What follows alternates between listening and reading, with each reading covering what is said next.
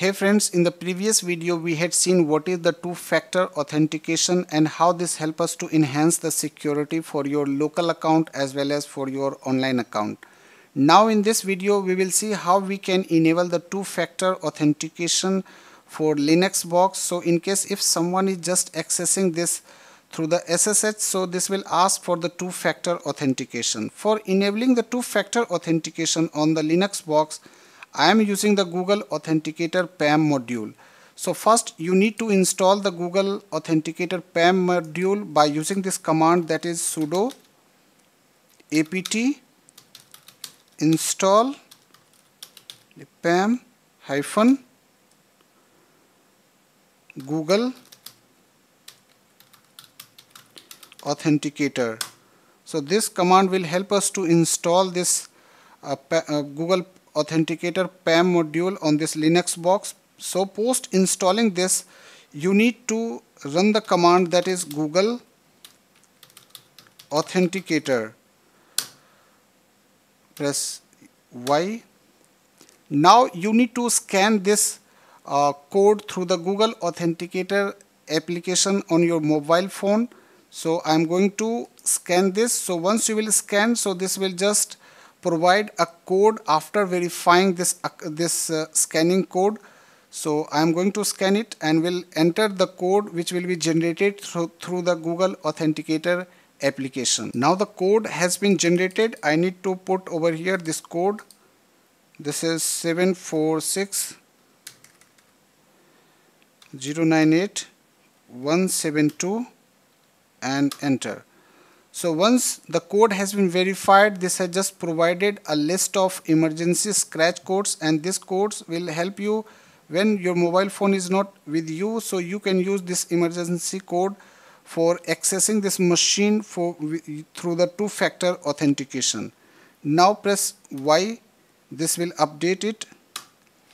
Now press Y again and uh, Y again and Y again. So now this has been just installed and configured uh, Google Authenticator on this PC. Now what you need to do, you need to enable the two-factor authentication on your SSH configuration. So what you need to do, you need to just put the command that is sudo nano and uh, slash etc slash pam.d slash ssh d and enter. There are something wrong with what we did. So here you need to give the space over here.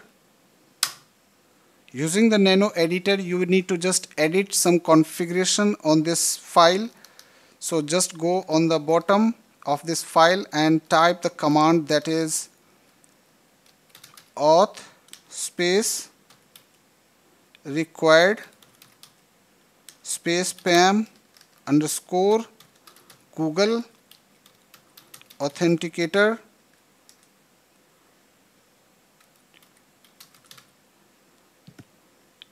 dot so and now you need to just save it. Control O. Enter and control X. So you have just exited from this file. Now you need to go on the SSH configuration file. So you need to type the command again sudo nano space slash etc slash ssh slash sshd underscore config. Now press enter and search the KB KVD interactive authentication. So you need to do you need to make the changes on this line. Currently the default configuration is no so you need to enable it yes I'm just going on this line. This is the line. Here you need to make it yes instead of no. Now control O for saving this file. Press enter and control X. So you have just saved it successfully. Now restart the SSH server by entering this command sudo system control restart sshd dot service. This has been restarted successfully. So now when you are just accessing this machine from any remote location or uh, from this machine itself so currently I'm just checking it uh, by using the SSH on the local machine itself. So what we need to do I will do the SSH and uh, username and the IP address of this machine or you can type the local host as well because we are just checking it locally. I am putting the IP address of this machine. Press enter. Now it is asking the password. This is the first factor. So put the password over here. This is